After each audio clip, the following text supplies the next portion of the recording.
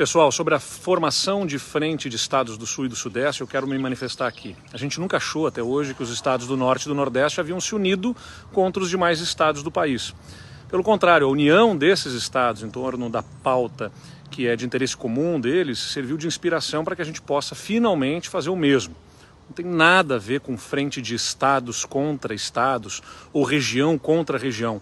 Se trata de nós nos unirmos em torno do que é pauta comum e importante para os estados do Sul e do Sudeste. Ações para o desenvolvimento, questões tributárias, enfrentamento à pobreza, governança federativa, proteção ao meio ambiente, defesa do agronegócio, enfrentamento ao crime, são alguns dos temas. Mas entre essas pautas não está discriminar, desunir, e desintegrar nenhuma parte da federação, porque nós vamos ser todos mais fortes quanto mais formos todos uma só nação.